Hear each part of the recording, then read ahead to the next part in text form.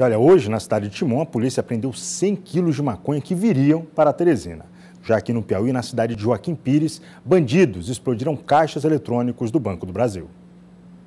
Dois homens e uma mulher foram presos em Timon com aproximadamente 100 quilos de maconha prensada e embalada em tabletes.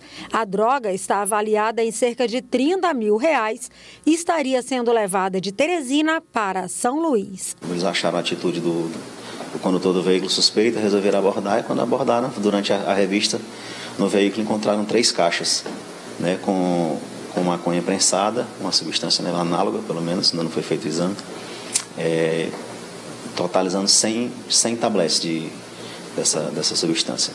Moradores de Joaquim Pires observam atônitos o que sobrou do posto de atendimento do Banco do Brasil. Quatro homens explodiram o prédio durante a madrugada.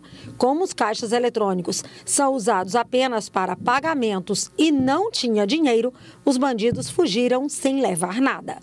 Utilizaram-se de um veículo Siena, de cor vermelha, e uma motocicleta. A Polícia Militar estima entre quatro e seis elementos envolvidos nessa ação, enquanto os elementos no veículo Siena se mantiveram no interior da agência para explodir o, caixa eletrônico. Os, os, motociclistas eles foram até ao, aos acessos, os principais acessos da cidade e colocaram os, os miguelitos, que são os artefatos de, de, de ferro que são utilizados normalmente nessas ações para os pneus do, das viaturas, do, do reforço.